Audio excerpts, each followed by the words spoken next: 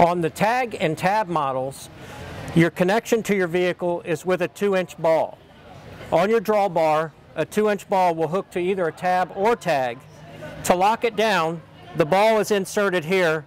You bring this down and lock it until it snaps into this hole. Once it's in there, it's attached to your vehicle and locked down. To unlock, simply press this button and lift up. Now you can unattach the camper from your car.